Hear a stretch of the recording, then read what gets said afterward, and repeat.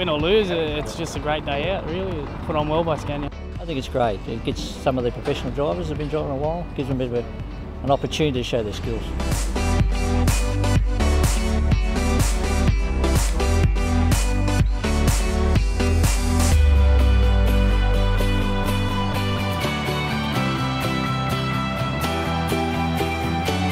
There's a lot of negative attitudes towards truck drivers as a, as a rule. It's nice to be promoting the, the positive side of that, showing that it is a skill.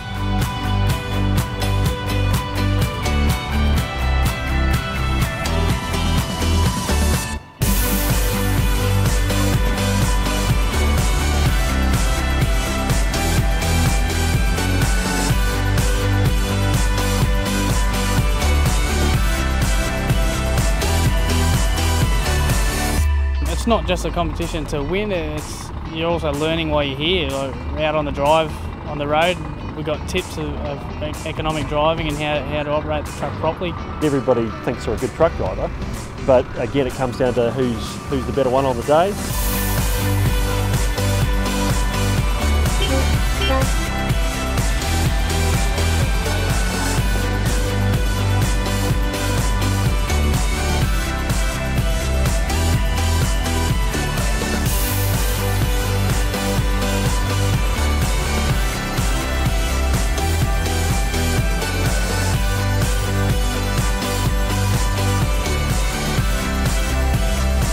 Great test of the driver's ability is, is the manoeuvring course. Thoroughly enjoyed it. I know there's a couple I didn't get and there's a couple I did well, so we'll just go from there.